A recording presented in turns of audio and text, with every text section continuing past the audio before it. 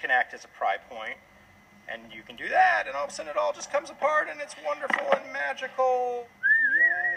I had a bit of a glob of Vaseline that prevented this half sphere to fill all the way. But there's enough of it there that it's still a key. It's a perfect little key. Gonna fit right in there. It's just, it, it didn't completely get it all. Um, but it's gonna work just fine for its purpose. The other thing that I can see happened is we didn't get enough Vaseline here and it broke a little bit of the stone out on this, on this edge here. Tiny little bit. We still have the keys in place. Uh, that won't harm or affect anything. So we did really well. So this is one piece of the mold. This is, uh, when we put this together, that's, that'll go there. And then now we still have to get the bottom out from here, which might be, might prove to be a little difficult.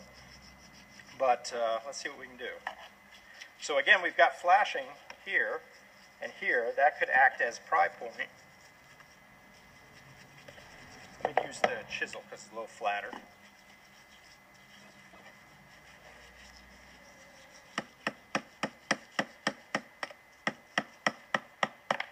Yeah, it's coming right out. Three-piece stone mold. Now I got to tell you, molds have evolved. These are very basic, basic, basic molds. Uh, these are very old school, uh, with the exception of using the epoxy cal, which is kind of a new, newer material. Um, but this is basically how molds have been made for a long, long time. Anyway, this will make a lovely piece. We'll clean this out. We can put Ms. Cherie on that for